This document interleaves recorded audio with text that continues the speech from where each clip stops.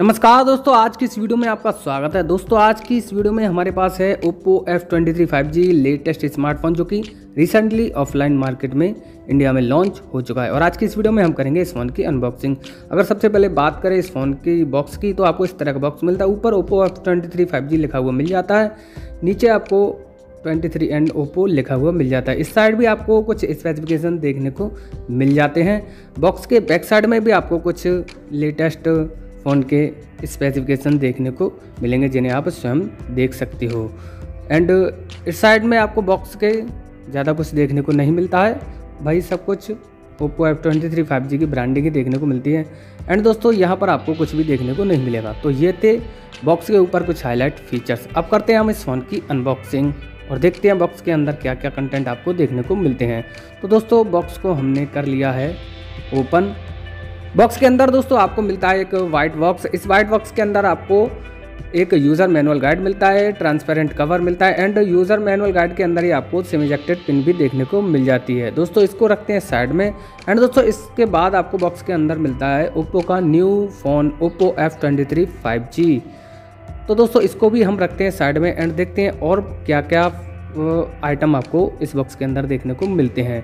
दोस्तों इसके बाद आपको मिलता है एक सुपर वोस फास्ट चार्जर जो कि 80 वाट की फास्ट चार्जिंग को सपोर्ट करता है।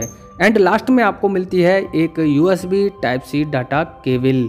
तो दोस्तों, बस यही सब कुछ आपको Oppo F twenty three five G के बॉक्स के अंदर देखने को मिलता है।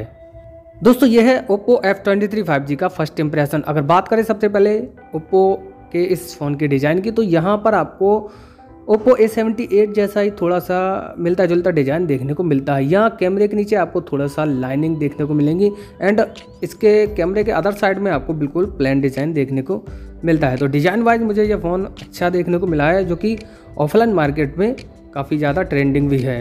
एंड इसके बाद अगर बात करें इस फ़ोन की वेट एंड थिकनेस की तो यहाँ आपको 8.2 पॉइंट mm की थिकनेस एंड 192 ग्राम का वेट देखने को मिलता है। अब दोस्तों, वहीं बात करें इस फ़ोन की बिल्ड क्वालिटी की तो यह पूरा फ़ोन प्लास्टिक यूनिबॉडी डिज़ाइन के साथ आता है। अब दोस्तों, यहाँ बात करें फ़िज़िकल ओवरव्यू की तो दोस्तों, इसके बैक पर आपको ट्रिपल रियर कैमरा सेटअप के साथ एलईडी फ्लैश देखने को मिलती है। नीचे की ओर आपको ओप्पो की ब्रांडिंग, एंड दोस्तों, बॉटम साइड में आपको speaker type C port, mic and 3.5 point mm jack देखने को मिलता है। वहीं दोस्तों, इसके राइट साइड में आपको पावर बटन देखने को मिलता है। इसी में आपको फिंगरप्रिंट सेंसर भी देखने को मिलेगा। टॉप पर आपको नॉइज़ कैंसिलेशन माइक देखने को मिल जाता है। इसके लेफ़्ट साइड में आपको डुअल सिम स्लॉट का option and volume down and up button देखने को मिल जाता है। वहीं इसके फ्रंट में टॉप पर आपको फ्रंट कैमरा देखने को मिलता है, जो कि पंचोल डिज़ाइन में आता है। तो दोस्तों, ये था इस फ़ोन का फ़िज़िकल ओवरव्यू अब दोस्तों, इस फ़ोन की अगर हम डिस्प्ले की बात करें तो इसमें आपको मिलता है 6.72 इंच का full H plus I P screen जो कि 120 ट्वेंटी के रेफ्रेश रेट के साथ आता है। दोस्तों, अगर प्राइस को देखा जाए तो अगर इसमें एमोलेड स्क्रीन होता तो यह ऑफलाइन एंड ऑनलाइन मार्केट को बीट कर सकता था। लेकिन यहाँ केवल आपको आई पी स्क्रीन देखने को मिलती है, जो कि मुझे बिल्कुल भी अच्छा देखने को नहीं मिला है। अगर प्राइस को देखा जाए तो। वैसे अगर नॉर्मल यूज़र हो आप तो अब आपके लिए ये फ़ोन की डिस्प्ले ठीक ठाक है। डे टू डे यूजेज में काफ़ी अच्छी स्मूथनेस भी आपको इसके साथ देखने को मिलेगी, क्योंकि यहाँ पर आपको 120 हर्ट्ज़ का रिफ्रेश रेट देखने को मिलता है। कलर्स भी आपको ठीक ठाक ही देखने को मिलेंगे इस फ़ोन की डिस्प्ले के साथ। तो ऐसा नहीं है कि डिस्प्ले बेकार हो डिस्प्ले भी ठीक ठाक है। अब दोस्तों, इस फ़ोन की अगर हम हार्डवेयर की बात करें तो यहाँ पर आपको स्नैपड्रैगन 695 ऑक्टा कोर सीपीयू मिलता है। यह हार्डवेयर भी आपको 15 से सोलह हज़ार के फ़ोन्स के बीच में आपको देखने को मिलता है ऑनलाइन मार्केट में। लेकिन यहाँ पर ये क्या हो, क्या बात किया है ओप्पो ने पता नहीं। बाईस हज़ार के ऊपर के फ़ोन में, अपने इस फ़ोन में भी इसने स्नैपड्रैगन 695 ऑक्टा कोर सी दिया है, जो कि मुझे बिल्कुल भी पसंद नहीं आया। अगर इस फ़ोन के अगर स्टोरेज की बात की जाए तो आपको इस फ़ोन के साथ एट जी रैम के साथ एट जी का एक एक्सपेंड मेमोरी का ऑप्शन मिलता है। वहीं इसमें आपको दो सौ का भी स्टोरेज देखने को मिलता है। तो ये इस फ़ोन के लिए काफ़ी अच्छी बात है। साथ ही साथ यह फ़ोन एंड्रॉयड थर्टीन पर रन भी करता है।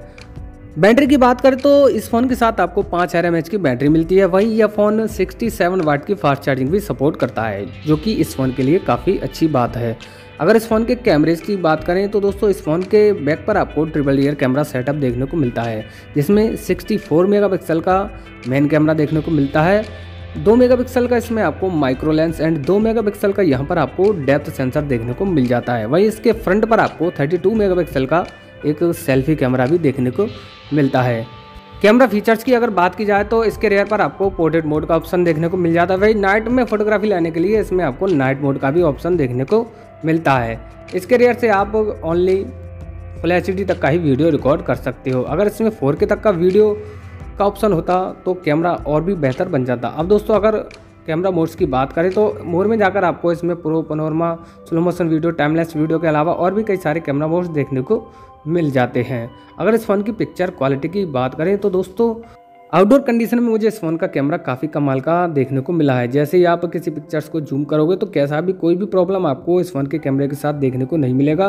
काफ़ी शानदार डिटेलिंग देखने को मिलेगी। इसके अलावा कलर्स भी आपको काफ़ी कमाल के देखने को मिलेंगे। डायरेक्ट सनलाइट में भी अगर आप इस फ़ोन के कैमरे से पिक्चर्स लेते हो, तब आपको काफ़ी शार्प पिक्चर्स देखने को मिलेगी। वो भी काफ़ी शानदार डिटेलिंग के साथ। वहीं इस फ़ोन की सेल्फी भी काफ़ी शानदार देखने को मिलेगी। स्किन टोन वगैरह आपको काफ़ी कमाल की ही देखने को मिलेगी। तो दोस्तों ओवरऑल अगर कैमरे की बात करें तो Oppo F twenty three five G का कैमरा काफ़ी शानदार देखने को मिला है मुझे। अब दोस्तों, इस फ़ोन के कुछ स्पेशल फीचर्स की बात करें तो स्पेशल फीचर्स में आपको split screen flexible window quick return smart slide bar के अलावा किट्स स्पेस वगैरह आपको कई सारे स्पेशल फीचर्स इस फ़ोन के साथ आपको देखने को मिल जाते हैं। वही दोस्तों, इस फ़ोन की अगर हम कुछ सिक्योरिटी की बात करें तो पासवर्ड एंड सिक्योरिटी में जाकर आपको दोस्तों lock screen face lock fingerprint and privacy password का आपको ऑप्शन देखने को मिलता है। यहाँ से आप अपनी फ़ोन की सिक्योरिटी के लिए कोई भी लॉक लगा सकते हो। इसके अलावा दोस्तों डिस्प्ले एंड ब्राइटनेस में जाकर आपको light mode and dark mode का ऑप्शन भी देखने को मिल जाता है। वहीं थोड़ी नीचे की ओर आपको आई कंफर्ट का भी ऑप्शन देखने को मिलता है। तो दोस्तों, ये तो थे Oppo F twenty three five G के कुछ स्पेशल एंड हाईलाइट फीचर्स अब दोस्तों, इस फ़ोन की अगर प्राइसिंग की बात करें तो यह फ़ोन लगभग आपको पच्चीस हज़ार रुपये का देखने को मिलता है। लेकिन कार्ड वार्ड लगाकर आपको यह फ़ोन तेईस हज़ार के आसपास देखने को मिल जाएगा।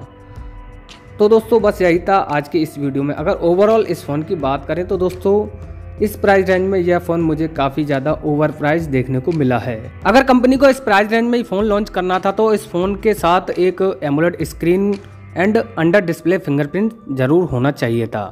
तो दोस्तों, अब आप ही अपनी राय कमेंट में हमको बताएँ कि इस प्राइस रेंज में यह फ़ोन आपको कैसा लगा है। तो मुझे उम्मीद है दोस्तों, ये वीडियो आपको ज़रूर पसंद आएगी। पसंद आए तो प्लीज़ वीडियो को लाइक करें और हमारे चैनल को सब्सक्राइब ज़रूर करें। मिलते हैं ऐसे कि नेक्स्ट वीडियो के साथ। तब तक के लिए गुड बाय एंड जय हिंद।